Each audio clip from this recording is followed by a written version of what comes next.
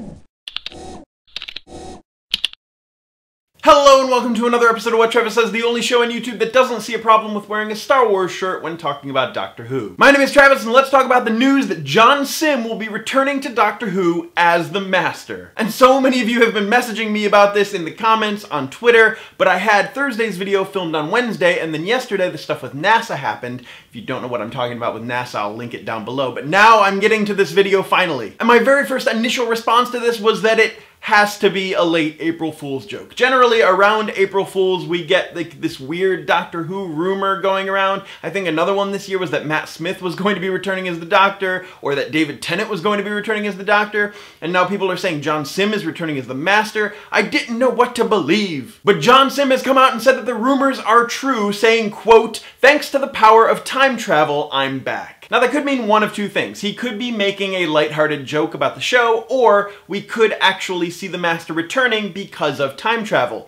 Doctor Who is a show about time travel, so it's completely possible. However, Time Lords don't generally cross their own time streams, although the Doctor seems to do that pretty regularly, so, the difference is that the Doctor interactions usually have purpose or reasoning behind them, and 9 times out of 10, he remembers meeting his past self. It takes him a little while to piece it together, but he remembers. Except for that whole Day of the Doctor thing, but it was necessary that the previous versions had to forget. So any interaction that the Master would have with Missy would probably have an influence on his time stream. Or maybe time travel is a way to bring him back from the dead, like resurrecting him, much like the last time that we saw him brought back from the dead, actually brought back from the dead. Or maybe this version of the Master that we're going to get isn't actually dead yet. John Simm's last appearance on Doctor Who was back in 2010, seven years ago, in the episode The End of Time. And at the end of the episode, we see him carted off to Gallifrey. And that time, the Master's death happened off screen, so perhaps this time we're going to witness the Master's regeneration into Missy. The crazy thing is, is that Moffat actually had this idea back in 2015. So, for all you Moffat naysayers who say he doesn't have a plan, well,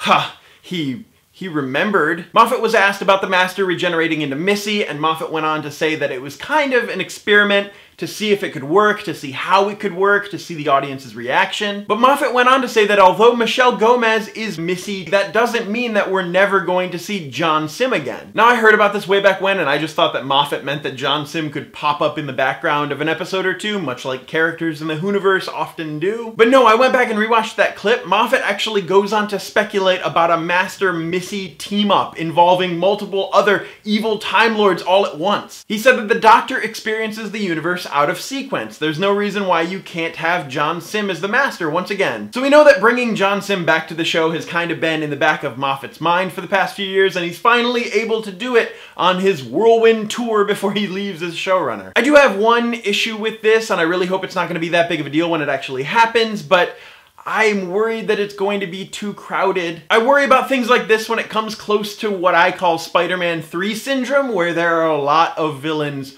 all at once crammed into a very short amount of time. Missy has never been a singular villain. She usually gets villain help from another character. The Daleks, the Cybermen, even the other Time Lords. She's never a singular villain in her own arc. My worry is that they'll cram the Master and Missy and another villain all into a villain storyline and it will be really crowded and it just it won't give everybody equal screen time and it'll it just it won't work. But i'm really excited though. I really love michelle gomez as missy and i loved john simm's master and now we're getting them both together and i'm super excited. The only thing i didn't like about simm's master was that time when he was brought back from the dead and the, the electrical influxes with the skeleton. It was just, it was so dumb. But the interactions between Master, Missy, and the Doctor will be the most interesting part of this whole experiment. Simm's Master hated Tennant's Doctor with very brief moments of possible humanity, but he would take away the things that the Doctor loved in order to cause him pain. But Gomez's Missy seems to enjoy toying with Capaldi's Doctor to the point of watching him sink into the quicksand of his own devices. She will manipulate situations in order to have him make decisions